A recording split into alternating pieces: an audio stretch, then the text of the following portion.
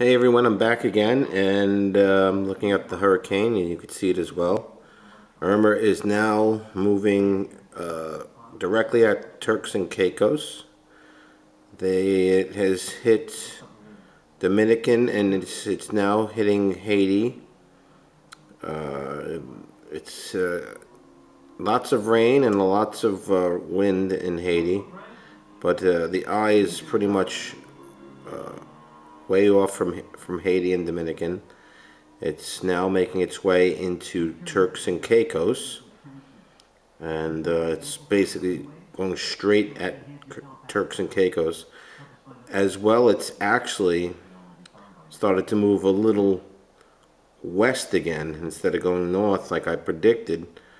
Uh, it's now going back towards uh, the Bahamas uh, Nassau Paradise Island. It's heading towards Nassau Paradise Island. But first it's going through, uh, first it's going to go through Turks and Caicos. I don't think uh, Haiti and Dominican are going to have it that bad. They're going to have it bad. Uh, Haiti's going to have it worse because it's a third world country. Uh, but it's now, it seems like it's actually turning a little, going to the left, west, as you can see it. Uh, and we, as I pan out a little bit, we could see the other hurricane following almost the same route as uh, as Irma did. So this one is now coming. So now we're having another one follow. So we have another one. So this is this is not looking too good. Now we have another hurricane coming. Uh, so uh, Turks and Caicos is going to get it, and then we also have another one coming uh, following Irma. Now another thing, let me focus in on this.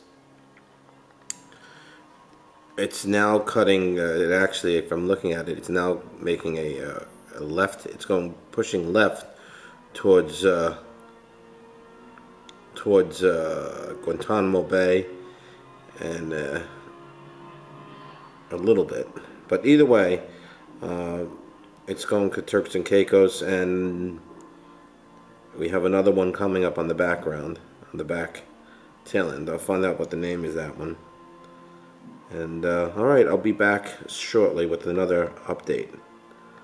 I uh, hope everyone's okay in Dominican Republic, and it's it's still going. This is again a Category 5. This is a Category 5 hurricane with winds up to 180 to 200 miles an hour. So it's still a big, big, this is the biggest in history as well. Alright, hashtag Mike Merone, subscribe down below.